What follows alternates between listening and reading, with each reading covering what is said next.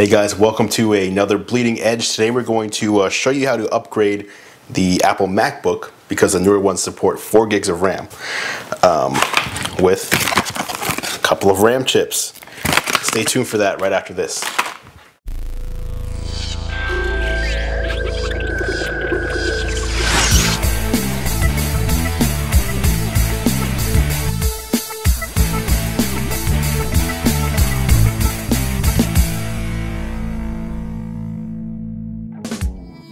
When you're able to stop uh, the exploitation of a child, or you're able to find that one piece of evidence that an investigator working a homicide needs, that's what motivates you. That's what keeps you coming back.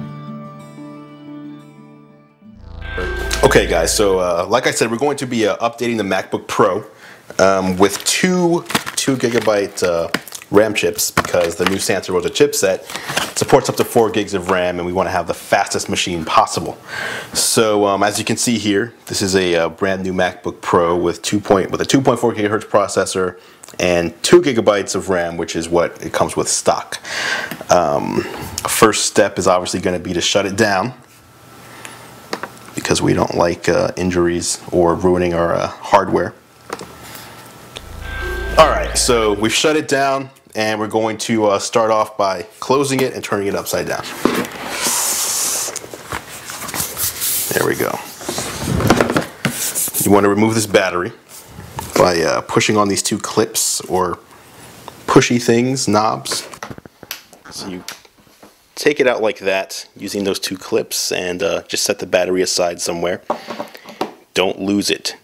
You won't be able to use your computer if you, if you lose that. So now you're going to need to use a, a, uh, size P0 Phillips, which is extremely small, but that's the only way you're going to get these uh, screws out. And they're actually glued in, so it will take a little bit of force. And as you can see, they're uh, fairly tiny. So be sure uh, not to lose those as well. So you have the battery and you have the screws. Don't lose them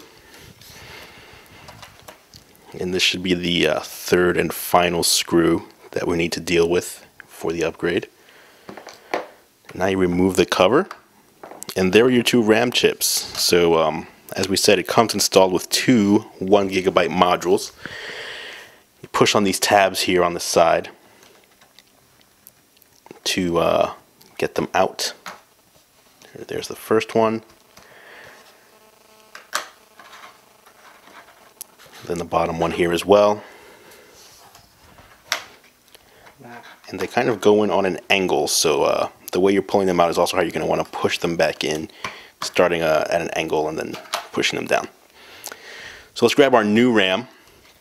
Here's a, uh, a TechWorks RAM module, 2 gigs, as we said.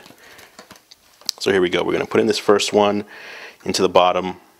Again, we're starting at an angle, as you can see. Oops but we're going to switch it over so that it actually goes in uh, the right way.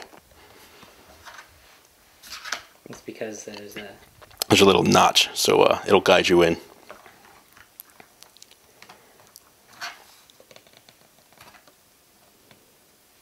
Ram in. Success. Now for the second one at the top.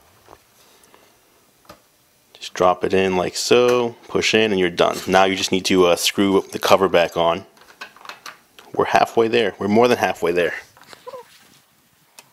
All right, for the, so the first screw.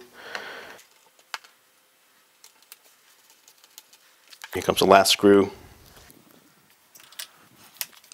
And hopefully we didn't lose the battery. I'm not sure. Uh, nope, there it is. Okay. So uh, put the battery back in correctly and we are we should be good. So we'll boot this up in a minute and uh, show you the difference. Alright, so we're done installing the RAM and uh, we're just going to boot up uh, the MacBook Pro to uh, confirm that everything went well. And um, if you're wondering why we, you know, why you'd want to do this yourself as opposed to just ordering uh, or buying a MacBook Pro um, with the RAM already in it, well, it, we're, we're saving money. So here's our original RAM, and by installing the RAM ourselves, ordering it ourselves, uh, we use MacSales.com, which is Otherworld Computing um, but you can use Crucial, Kingston, whatever RAM you get your hands on. Um, it'll probably be a few hundred dollars cheaper for uh, you know how long did it take us? Three minutes it takes to upgrade yourself, as opposed to having Apple do it or paying, or just paying uh, for the RAM pre-installed. All right, now that we're all booted up, let's take a look and make sure that we've seated the RAM properly and that everything uh, is working as expected. So I'm going to pull down your Apple menu and go to About This Mac. And here you can see now we have 4 gigabytes of uh, 667 megahertz DDR2 SD RAM. So we've completed our upgrade and it took us less than 5 minutes to go from shutting down, uninstalling the old RAM, installing the new RAM and booting back up. I mean it's one of the easiest um, upgrades you can do. And now we have two uh, 1 gigabyte modules that we can put in other computers. If you have an iMac or a MacBook or something else that you know needs RAM, you have this. So that's pretty much it. Very simple and easy. Another tip from Gear Live. Stay tuned for more tech news through the eyes of GearLive.com.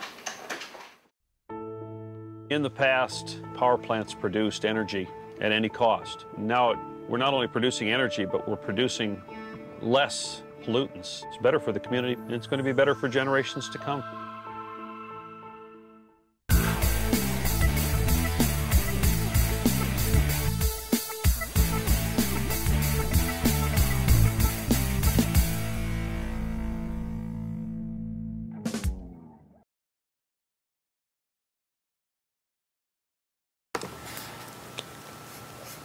And once it's shut down, we'll turn it over and ah, why did it do that? now we have to cut that part out. That was horrible. Tired.